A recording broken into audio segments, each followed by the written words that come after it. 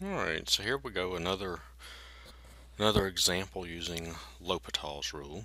So, uh, as I've said in the other videos, basically what we have is um, we have the limit of f of x over g of x as x goes to a, and we get we end up with 0 over 0, infinity over infinity, or negative infinity over negative infinity then L'Hopital's rule says that the limit of this is equal to the limit of the derivative of the numerator over the derivative of the denominator as x goes to a, provided that this limit here on the right exists or is plus or minus infinity. And the rule also applies if this uh, this x goes to a if that's replaced with x goes to plus or minus infinity or x goes to a from the right or the left. Alright, so let's take a look at this example. To be a little bit different than the other ones. Uh, Alright, so we have the limit of 1 over natural log x minus 1 over x minus 1 as the and that's the limit as x goes to 1 from the right. Alright, so let's see what we have. Well, let's take the limit of the first term and then the limit of this second term here. Well, if you remember, there's 1. And remember, natural log, the graph of log looks something like that. It's just a rough sketch. So as we come into 1 from the right hand side, okay you can see the y values are going to zero okay? So this denominator is going to zero so we have 1 over something really really small so that means this term would be going to infinity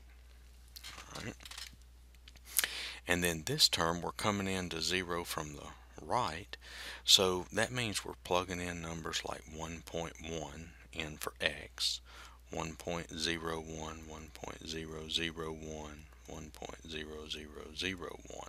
Okay, that's coming into 1 from the right. Well, if we do if we do this 1.1 minus 1, that's going to give us 0.1. 1.01 minus 1 is 0.01. And so you see where this is going. We'll, we do this minus this, that's going to be 0.00 0, 1. So you can see the denominator is getting really small and the numerator is 1 and so this term would be going to infinity. So we end up with infinity minus infinity and we can't do that. Okay? In other words, you can't say, well, infinity minus infinity, that limit's going to be 0. Well, that's, I mean, it may be 0. We don't know yet, but you can't say it's 0 because of that. Okay. All right. So let's see how we how we're going to do this. Well, first thing we might want to do is let's go ahead and combine these. We'll get a common denominator. Okay. So this is going to be the limit as x goes to 1 from the right. And then I'm going to get my common denominator, which is going to be x minus 1 times natural log x I'm assuming that we still remember how to add and subtract fractions. Alright, so we know up here we'll have what? x minus 1, and then for this numerator we'll have natural log x. And so let's just simplify a little bit. I'll write that a little better. That's going to be the limit as x goes to 1 from the right. So that's going to be x minus 1 minus natural log x over x minus 1 times natural log of x. Alright, so let's see what happens now. Okay, so as we go to 1 from the right hand side, so that's going to be 1 minus 1 is 0 minus, and then remember how we talked about when we talked about 1 x, x going to 1 from the right on this one, how that goes to 0. Okay, so we've got 1 minus 1 is 0, minus 0 is 0. Alright, so we've got a 0 in the numerator. Now hopefully we'll have a 0 in the denominator. Well, plug the 1 in, that's 0. As uh, x goes to 1 from the right, same thing that we talked about here. That goes to 0. So there we go. We have 0 over 0. So now we can apply L'Hopital's rule. So this is going to be the limit as x goes to 1 from the right. So I'm going to take the derivative of the numerator and the derivative of the denominator. Well, the derivative of x is 1.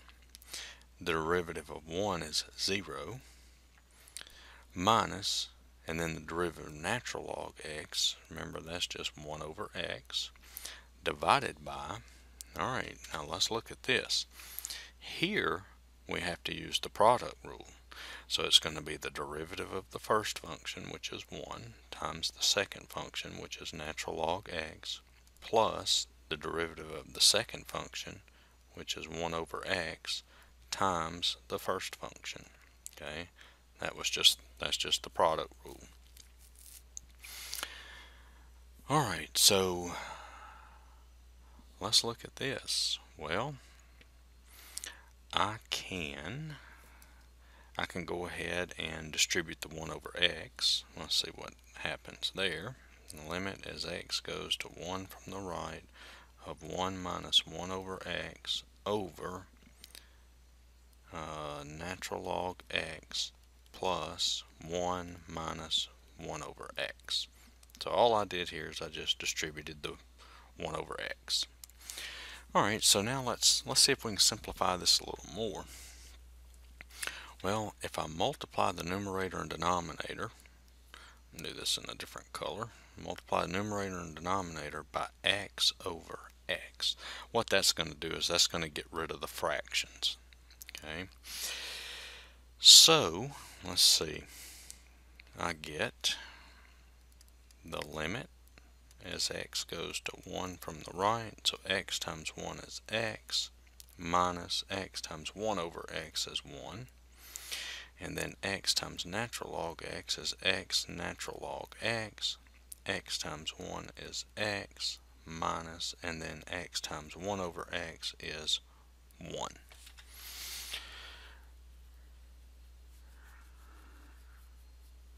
Alright, so let's see what happens when we take the limit of this.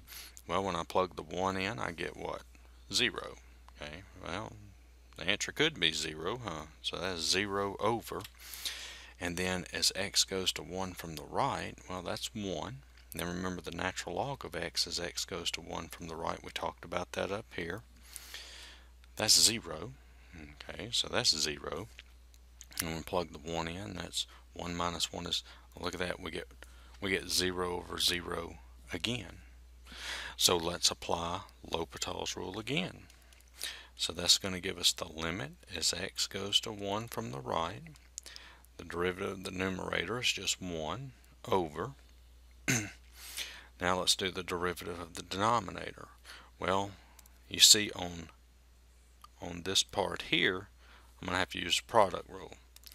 Alright, so let's take the derivative of that. So that's derivative of the first function times the second function plus the derivative of the second function, which is 1 over x, times the first function, x, plus, now I'm going to take the derivative of x as 1, and then the derivative of minus 1 is 0. Okay. So I get the limit as x goes to 1 from the right of 1 over, that's going to be natural log x and then 1 over x times x. This is going to be 1 and 1 plus 1 is 2 alright let's see what we get now. So this is going to equal well the numerator is just 1 and then the limit as x goes to uh, 1 from the right for natural log x okay Remember, we've talked about that a bunch in this problem. That is 0. So I get 1 over, and then this is 0, and then plus the 2 and so I get 1 half. Alright, so I hope this video's helped. Uh, I've tried to show, you know, pretty much all the all the different things that you're going to come across when you're using L'Hopital's rule in the videos that I've done. Uh, so if you want to if you want to check those out, I've got a video example uh, that has examples 1 and 2 in one video, 3 and 4 is in one video. Uh, example 5 has a video by itself as well as example 6 has a video by, by itself and then um, example 7 this one has a video by itself which is just this one. Alright so uh, hope you'll check them out and if you like them you can subscribe. Alright thanks